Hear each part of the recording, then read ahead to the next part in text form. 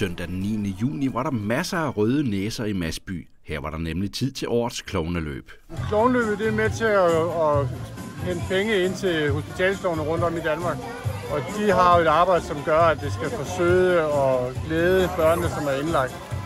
Det er, det, det er den primære, men der ligger jo rigtig meget bagved. Øh, et stort uddannelses øh, system, man skal igennem for at blive klovneløb, øh, klovne til klovneløbsarrangementerne. Hvor mange deltager i dag? Vi har lige omkring 200 i år. Så det er en nedgang i forhold til 23? Ja, det er det. At få 100 i nedgang. Vi håber, at vi kan rejse det igen til næste år. Og vi vil ikke finde undskyldninger til, hvorfor. Vi er glade for dem, der er kommet, og super stolte af det, der bliver, bliver bidraget med. Og nu er vejret jo ikke det bedste i dag. Solen skinner, og det er strålende vejr. Om det er regn eller det er sol, det er vi ligeglade med. Hvad betyder det, at de bakker op om det her løb? Jamen det betyder bare, at man får en masse glæde, og man får vist folk i Fredericia, at der er altså muligheder for motion, uanset om man kan gå, løbe eller kravle, gå, trille.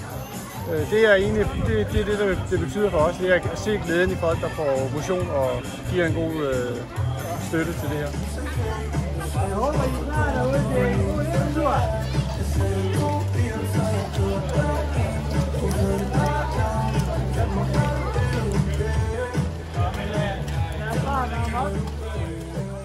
Hvor mange år har det eksisteret? Det har eksisteret i 13 år i alt, og vi er på 4. og 5. år nu. Er I klar derude? Ja!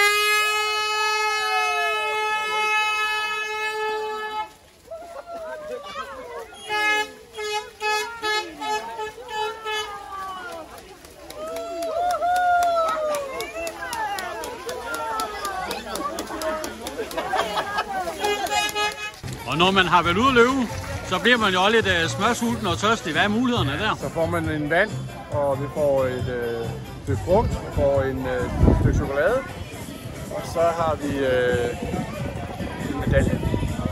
Ikke mindst, den ser sådan her ud.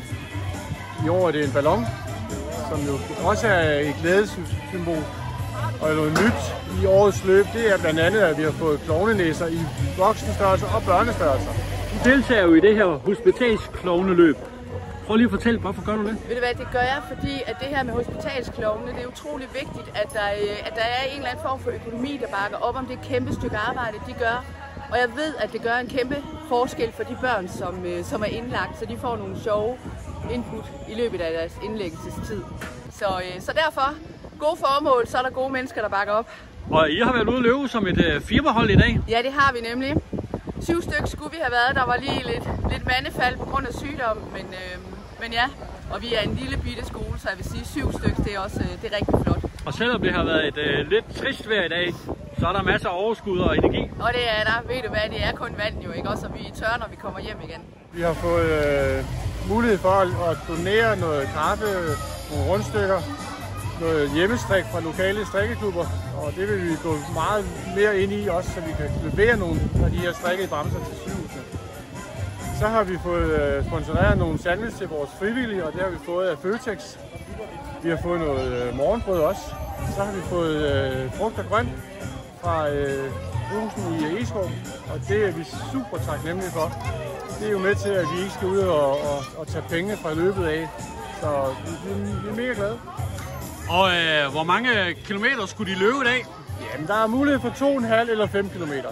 Og mange har faktisk valgt at løbe en 5'er, selvom de kun har meldt sig til en 2,5. Og det må man meget gerne. Og så er der nogen, der har overskud til at løbe to omgange. Det er lige nøjagtigt det, ja. Og det skal de også være meget velkommen til. Og øh, terrænet, hvor har det været? Øh... Jamen, det har foregået fra start fra Mads By-scenen, som er lige bag ved mig. Rundt om søen, ude på Lysløjpen, som det hedder her i byen. Og der er lidt asfalt, der er lidt grus, der er nogle bakker. Vi har Annebakken, som mange lokale kender. Den kan godt tage lidt tænder. Og så er det ellers bare at komme igennem vandpytter og hvad der ellers ligger. Så du er en glad arrangør? Jeg er altid glad for det, og det er super lækkert at se så mange. Hey.